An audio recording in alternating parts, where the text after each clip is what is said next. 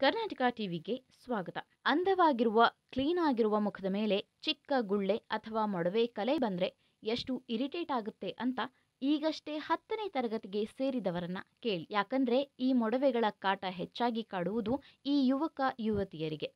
ಅಲ್ಲದೆ ಗರ್ಭ ಧರಿಸಿದ ಹೊಸತರಲ್ಲೂ ಈ ಮೊಡವೆಯ ಸಮಸ್ಯೆ ಹೆಚ್ಚಾಗಿರುತ್ತೆ.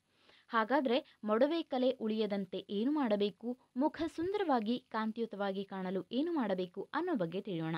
ಆದರೆ ಅದಕ್ಕೂ ಮುನ್ನ ನೀವಿನ್ನು ನಮ್ಮ ಚಾನಲ್ನ ಸಬ್ಸ್ಕ್ರೈಬ್ ಮಾಡದಿದ್ದಲ್ಲಿ ಬೇಗ ಸಬ್ಸ್ಕ್ರೈಬ್ ಆಗಿ ಪಕ್ಕದಲ್ಲಿರುವ ಬೆಲ್ ಐಕಾನ್ ಪ್ರೆಸ್ ಮಾಡಿ. ಬೆಳಿಗ್ಗೆ ಎದ್ದ ಬಳಿಕ ಖಾಲಿ ಹೊಟ್ಟೆಯಲ್ಲಿ ಒಂದು ಕಿತ್ತಳೆ ಹಣ್ಣನ್ನು ತಿನ್ನಿ. ಕೊಂಚ ಹೊತ್ತು ಬಿಟ್ಟು ತಿಂಡಿ ತಿನ್ನಿ. ತಿಂಡಿ, ಊಟದಲ್ಲಿ ಹೆಚ್ಚು ಎಣ್ಣೆ ಪದಾರ್ಥ, ಬೇಕರಿ ತಿಂಡಿ, ಮಾಂಸಾಹಾರ ಸೇವನೆ ಬೇಡ. ಇನ್ನು ಯಾವಾಗಲೂ ಹೇಳುವಂತೆ ಹೆಚ್ಚು ನೀರು ಕುಡಿಯಿರಿ.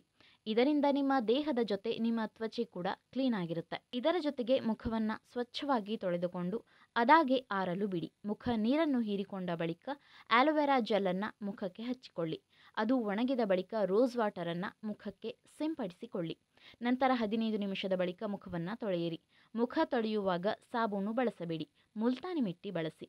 ಎರಡು ವಾರಕ್ಕೊಮ್ಮೆ ಅಥವಾ ತಿಂಗಳಲ್ಲಿ ಮೂರು ಸಲ ಶ್ರೀಗಂಧವನ್ನು ಹಾಲಿನ ಜೊತೆ ತೇದು ಫೇಸ್ ಪ್ಯಾಕ್ ಹಾಕಿ. ಇದಕ್ಕೂ ಮುನ್ನ ಮುಖವನ್ನು ಚೆನ್ನಾಗಿ ತೊಳೆದುಕೊಂಡು ಸ್ಟೀಮ್ ತೆಗೆದುಕೊಳ್ಳಿ. ನಂತರ ಫೇಸ್ ಪ್ಯಾಕ್ ಹಾಕಿ.